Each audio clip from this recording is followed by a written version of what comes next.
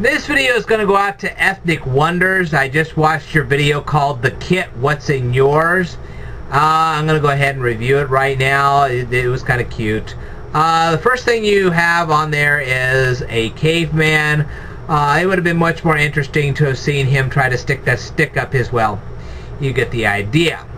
Uh, the next thing you show is um, the Greeks and of course they used papyrus to write their stuff down. It would have been really interesting to have seen uh, one of those great philosophical whatevers written on a piece of papyrus and the guy is reading it and all of a sudden he realizes he has nothing to uh, take care of his business with so he uses the papyrus and, and there goes our philosophy.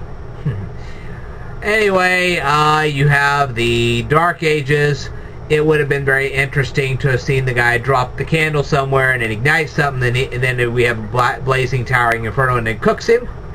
That would have been very interesting. Uh, then you have uh, the pirate. Um, yeah, when taking care of business, uh, it would have been really interesting to have seen him try to use his hook. Or possibly, um, hmm, well, anyway, never mind. Uh, that would have been, like I said, it would be really interesting to see him use his hook to solve his uh, lowercase uh, problems, so to speak. And then we have the guy, he is at Woodstock.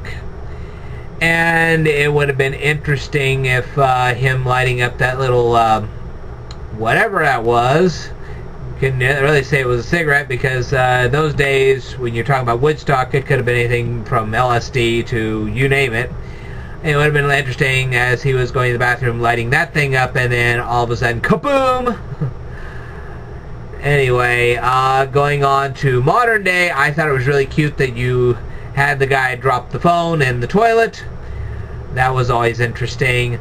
Uh, but the thing is, you never covered about the future. What about the three seashells? You never talk about that. That would have been interesting to have seen.